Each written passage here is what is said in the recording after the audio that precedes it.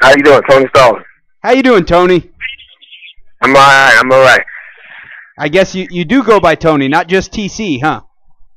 Yeah, well, you know, it depends on where I am. I'm trying to. I, I know the Louis Vegans. I'm taking a while to get used to TC. You're right, because I, I had said to, uh, and Tyler had also, we had said to a, a couple of our friends we're going to have TC Stallings on tonight, and everybody remembers, you mean the guy who, who punched it in on Kentucky and, and knocked Kentucky out, Oh, come Tony on. Stallings. There you go. Yeah. So you have to. So, so, so most people are saying Tony TC Stallings. They're doing it like that right now Uh, until people get used to it. But there's a story behind why I started going by that. So eh, I'm sure it'll get told as time goes on. Okay. You, you want to tell it now? Well, I mean, basically, to make a long story very, very short, uh, my birth name, my birth name is Anthony Claude Charles Carter Stallings. Now that's a mouthful right there. Wow. Anthony Charles Clark, Carter, Stall- and what that is, those three, those three middle, those three middle names that I have, that's actually my biological father's full name. Okay. And yeah, and uh, but basically, you know, I didn't grow up knowing my father, and so you know, he was on drugs, unfortunately, and my my mother left him. You know, so I never got a chance to meet him when I was young. But he came back, and out spite, he said, "You can't leave me and take my son away from me. He'll always be a part of my life." And he signed his full name in spite uh, as my middle name. And so when I found that out, I changed my middle name to Cyril, C Y R I L, which means lordly, because I wanted to have a better meaning, meaning than what it stood for. And so now my son's middle name is Cyril as well. His first name is Antonio. And so a tradition we got going now is it don't matter what your first name is, you can name your son whatever you want. But the middle name, let's carry that Cyril with every boy that we have, which means lordly. And that's like a chain breaker type thing for me. So that's what it is. Tony Cyril Stallings is my name today. Good deal. That is a good story. Uh, definitely. One of the things we had talked about a little bit is obviously you got your movie coming out, Courageous, tomorrow, right? Absolutely, absolutely. Comes out tomorrow. Uh, I'm I'm I'm so uh, blessed and, and proud to be a part of such a great project. Called Courageous. It's about fatherhood, and uh, it's I don't want to spoil it. I've, I've been doing a lot of interviews, and it's like the more we talk, the more and more I kind of dive into it. But to just encourage every every family needs to see this. Uh, mothers, fathers, sons, and daughters go see it together, and it'll change the way you look at each other. It'll change the way you look at life. And rarely you go see a movie that when it's over, you walk out of the theater feeling like you got to do something with yourself in a positive way. Usually movies stay in and you just kind of laugh about it and you move on. You'll be thinking about Courageous all week, all month, probably all year. So uh, definitely excited about uh, being in it and excited for everybody to see it. So this is a local show we do for the most part here. We'll be on it, you know, Tinseltown. Yeah, absolutely. It's uh, it's in 1,200 theaters worldwide. Uh, it's in it's in Canada, it's in Africa, it's in, but for here you can go to. It's in 30 theaters in Kentucky. Wow. 30 theaters. And here locally in Louisville, it'll be Tinseltown, it'll be Stony Brook, uh, right there on Hurstbourne. It'll be uh, Preston at the Big Cinema Deluxe, I believe, on Preston. And uh, for anybody who's trying to find a theater, I know some theaters are selling out already. But if you want to take a chance and look, you go to courageousthemovie.com and push get tickets, that tab, and then just type in your zip code and it'll take you to uh, uh, all the theaters. Uh, an easier way might even just be to type in the state of Kentucky, which you can do. It'll have a Kentucky tab. It'll show you all the theaters playing in Kentucky. Good deal. That's awesome. Oh, t- see, we did uh, just play the trailer where you were hijacking a truck, I believe. yeah, yeah, that, and that and that scene right there, that that that you know what they they show that uh, that full scene, and a lot of people think that the guy is uh, nuts for uh, chasing after a thug who stolen his car, but as you can see, there's there's a lot more to it, uh, and he was motivated by the situation in the back seat. So the movie is uh, it takes you on a roller coaster ride, just like that scene does, and uh, I'm excited to see what everybody thinks. We'll have to go check that out for sure. Well, if it's anything like Fireproof, TC, I know that was a great movie made by the same makers, um, and and I know with you being a part of it, with a lot of the same people being involved, uh, very heavily Christian. Which I go to Southeast, and that's where I first saw you and, and saw your story, and and decided to contact you and reach out to you because I know that you're, you're such a great story and you're a Louisville guy, and we really appreciate you you coming out uh, out on the show and, and actually speaking with us. Well, it, it- it's certainly an honor to be asked, and especially at this point where you know we wrapped up filming last year in June, And then, uh, you know, you never thought this day would come. Here it is, nearly 15 months later. Wow. Uh, this is the night before the movie comes out, and everybody's so excited. And you mentioned Fireproof, uh, which came out back in 2008. And this is kind of what I'm speaking to. You know, I'll go and see Fireproof, and uh, I go into that movie thinking I'm a pretty decent husband. You know, I do all right, and uh, you know, my wife loves me. She she'd say the same thing. But you come out of that movie and you are thinking you're just the worst husband ever. No, regardless of, of of how good you thought you were, this movie caused change. And so I remember sitting there watching that with my wife, and I'm looking around and looking at all the men who are feeling the same way I'm feeling, and I turned to her and I said, "You know, I want to do uh, uh, movies and, and acting, right?" She said, "Yeah." I said, "Well, these are the type of people that I want to work with." That was in 2008. And I said that because I saw the power that the movie had. It's changing people. A movie is changing people. And those are the type of movies that I wanted to do. So I told myself I was going to find a way to work with them in 2008. And here it is, 2010. Must have been the Lord's will because here we go with Courageous. Definitely. And I, I did want to ask you this too, TC. And, and I, like I said, I saw you in church, and I kind of want to let the rest of the people know um, what what was it in your life that changed you towards Christianity and, and pointed you towards God. Well, I grew up in I, I won't call it a Christian home, but I did grow up under a, a Christian mom. Uh, who uh, you know who took me to church, and I was learning the principles of what it means to be a Christian. I got baptized when I was nine years old. I did fully understand that Jesus Christ uh, was my Savior, but notice I didn't say Lord and Savior, because when it comes down to being Lord, that means you basically you're a slave. You know, he he takes over. Well, I kind of did what I wanted to do, but I always, you know, I prayed over my food. You know, I did the token things you do as a Christian, but that doesn't make you a follower. And uh, so I lived in, you know, being a fan of Jesus, you know, for many, many years, and not realizing that I was. My sophomore year of uh, of, of college was when, um, you know, basically I, I was walking around uh, speaking for FCA and and doing my Christian religious type things, and uh, another student on campus actually just called me out on campus basically and just say, you know, hey, aren't you that Christian guy on the football team? You know, you, you both said you're one of the only Christians on the team, yet I saw you at the party chasing girls around. I see girls coming in and out of your room. You know, and just basically ran down all my sins in front of me, popped the Bible in my face and showed me what God says that's not right. And I was just cut to the heart. So at that moment, I started to make a, uh, spiritual transformation in my life and just start really doing the things that God wanted me to do, which in, which meant throwing away all the cussing rap CDs I had, making sure I didn't have uh you know, movies that didn't honor God and just, you know, cleaning up my life, stop chasing girls around, you know, and so in doing this, it caused for a change. I couldn't laugh at dirty jokes no more. And, and so, you know, it was, it was rough. And, uh, so that part, I knew I had to do it. Now, saying you got to do it is one thing, but actually pulling it off is another.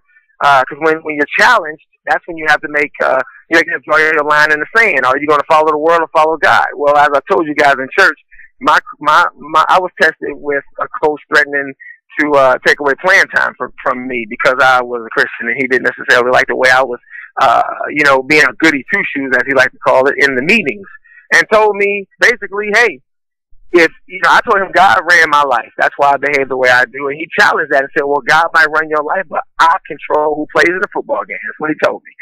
And so basically, all I had to do was get along with him and put up with his stories and his dirty jokes and things, and I could play. I chose not to, and I was persecuted for that.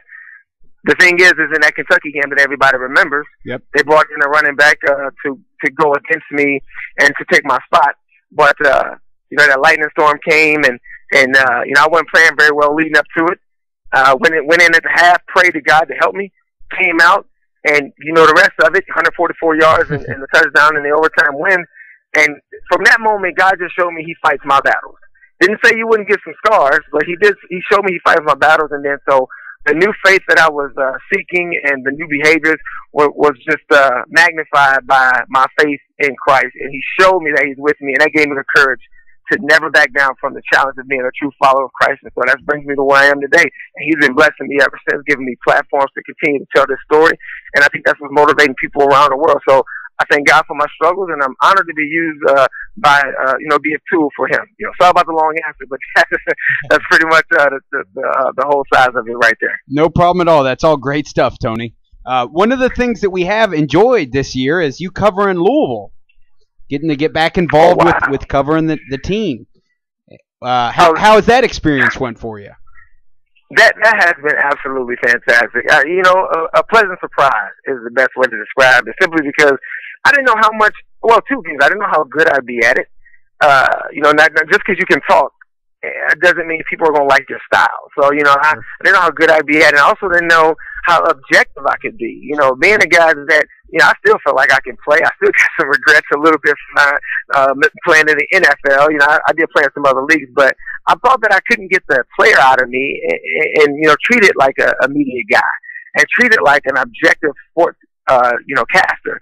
Uh, but, uh, you know, to my surprise, uh, Paul Rogers helped job. me to become extremely comfortable with doing. He was easy to work with, and it just became a joy to do. And uh, it, it's naturally becoming easier and easier each week for me to just hey sit there and bring the game to you. And, I, and I'm really enjoying it. Something I plan on doing regardless of where the movies take me. I'll still broadcast Louisville games. At least that's my plan.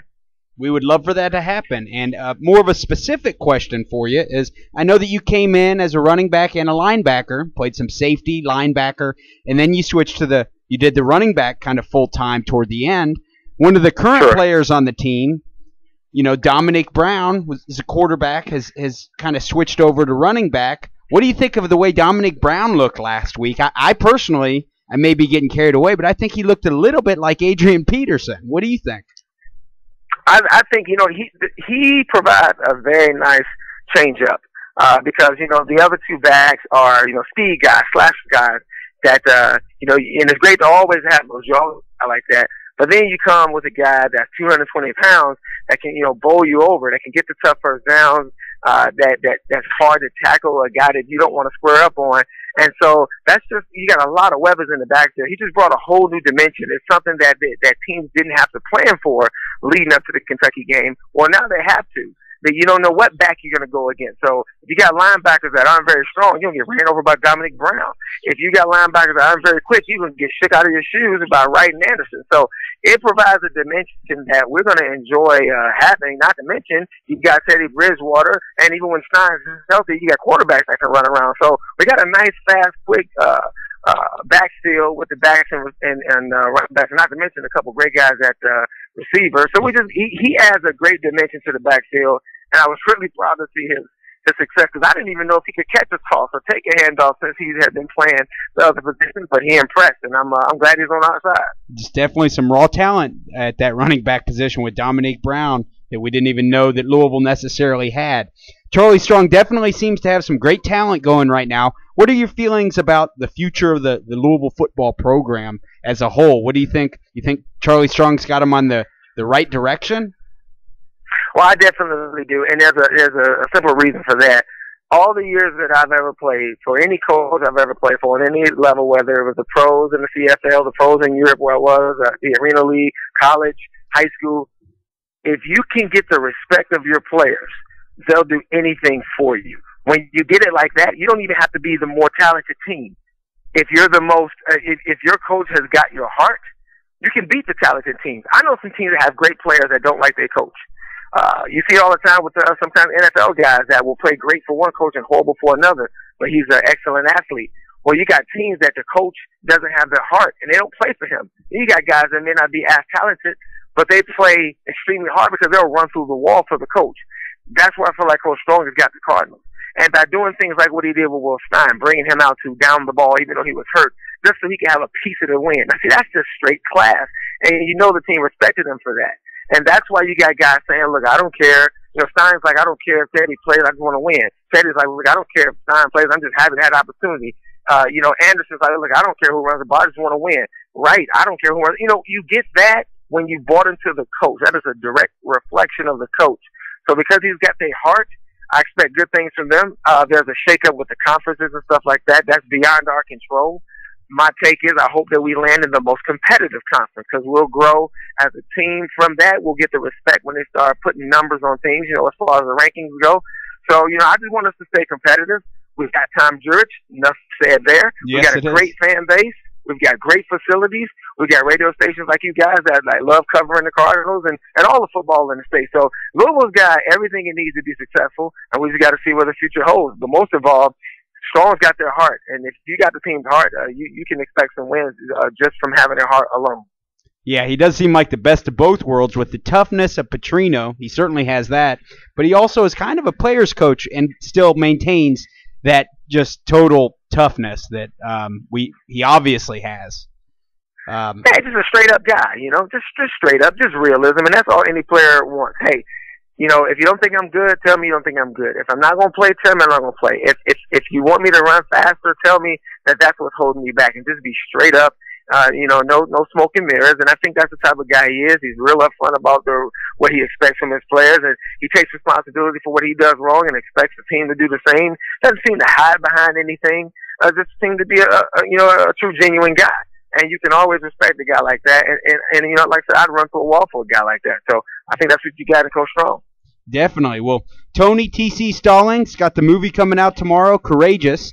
40 theaters, I think he said, across the state. Um, go see it. It's a family oriented, Christian based movie, and it is supposedly going to be a great movie. Go check it out tomorrow. Thanks so much for coming on, Tony. All right, all right. Thank you very much. And uh, what I'd appreciate is everybody go to my Facebook page, TC Stallings, and uh, and I'd just like to hear your thoughts after you see the movie. Uh, and let me know what you think.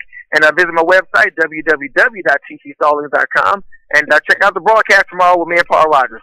Uh, God bless, guys, and thanks thanks for having me on the show. Thanks a whole lot, T- uh, Tony. Have a good night. Thanks, All man. right.